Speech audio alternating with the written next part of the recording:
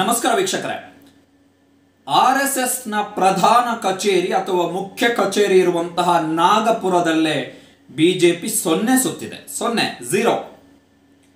ಮಾಜಿ ಮುಖ್ಯಮಂತ್ರಿ ಮತ್ತು ಹಾಲಿ ಉಪಮುಖ್ಯಮಂತ್ರಿ ಆಗಿರುವಂತಹ ದೇವೇಂದ್ರ ಫಡ್ನಾವಿಸ್ ಅವರ ಜಿಲ್ಲೆಯಲ್ಲೇ ಬಿಜೆಪಿಗೆ ಮುಖಭಂಗವಾಗಿದೆ.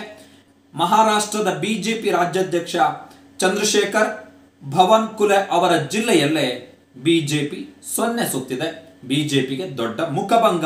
ವಿಶೇಷವಾಗಿ ದೇವೇಂದ್ರ ಫಡ್ನಾವಿಸ್, ಮಾಜಿ ಮುಖ್ಯಮಂತ್ರಿ ಮತ್ತು ಹಾಲಿ ಉಪಮುಖ್ಯಮಂತ್ರಿ ಹಾಗೂ ಬಿಜೆಪಿಯ ರಾಜ್ಯಾಧ್ಯಕ್ಷರಿಗೆ.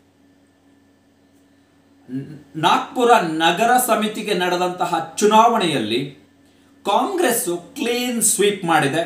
ಭರ್ಜರಿ ಗೆಲುವು. ಒಟ್ಟು ಹದಿಮೂರು ಸ್ಥಾನಗಳಲ್ಲಿ ಕಾಂಗ್ರೆಸ್ ಒಂಬತ್ತು ಸ್ಥಾನಗಳಲ್ಲಿ ಗೆದ್ದಿದೆ. ಒಂಬತ್ತು ಸ್ಥಾನಗಳಲ್ಲಿ ಕಾಂಗ್ರೆಸ್ ಗೆದ್ದಿದೆ. ಒಂಬತ್ತು ಸ್ಥಾನಗಳಲ್ಲಿ ಕಾಂಗ್ರೆಸ್ ಗೆದ್ದಿದೆ. ಎನ್ ಸಿ ಪಿ ಕಾಂಗ್ರೆಸ್ನ ಮಿತ್ರ ಪಕ್ಷ ಮೂರು ಸ್ಥಾನಗಳಲ್ಲಿ ಗೆದ್ದಿದೆ. ಏಕನಾಥ್ ಶಿಂದೆ ಬಣ ಒಂದು ಸ್ಥಾನದಲ್ಲಿ ಗೆದ್ದಿದೆ. ಬಿಜೆಪಿ ಸೊನ್ನೆ ಸುತ್ತಿದೆ. ಈ ಫಲಿತಾಂಶದಿಂದ ಏನಾದರೂ ದೊಡ್ಡ ಮಟ್ಟದ ಪರಿಣಾಮ ಆಗುತ್ತೆ ಅಂತ ಹೇಳಿದ್ರೆ ಖಂಡಿತ ಇಲ್ಲ.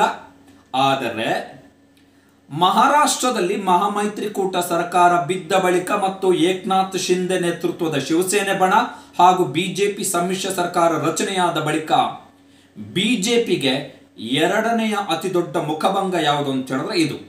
ಅದು ಕೂಡ ಆರ್ ಎಸ್ನ ಮುಖ್ಯ ಕಚೇರಿ, ಮಾಜಿ ಮುಖ್ಯಮಂತ್ರಿ ಮತ್ತು ಹಾಲಿ ಉಪಮುಖ್ಯಮಂತ್ರಿಯವರ ಸ್ವಂತ ಜಿಲ್ಲೆ, ಬಿಜೆಪಿಯ ರಾಜ್ಯಾಧ್ಯಕ್ಷರ ಜಿಲ್ಲೆಯಲ್ಲೇ BJP zero.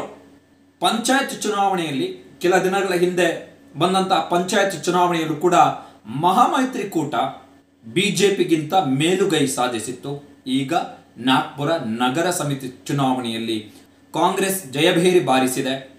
N C P ಮೂರು ಸ್ಥಾನಗಳನ್ನು ಗೆದ್ದಿದೆ. ಏಕನಾಥ್ ಶಿಂದೆ ಬಣ ಮರ್ಯಾದೆ ಉಳಿಸಿಕೊಳ್ಳಲಿಕ್ಕೆ ಒಂದು ಸ್ಥಾನ ಗೆದ್ದಿದೆ. ಬಿಜೆಪಿ ಸೊನ್ನೆ ಸುತ್ತಿದೆ. ನೈತಿಕವಾಗಿ ಬಿಜೆಪಿಯ ಕಾರ್ಯಕರ್ತರಿಗೆ ದೊಡ್ಡ ಹಿನ್ನಡೆ ಕಾಂಗ್ರೆಸ್ಸಿಗೆ ನೈತಿಕ ಜಯ.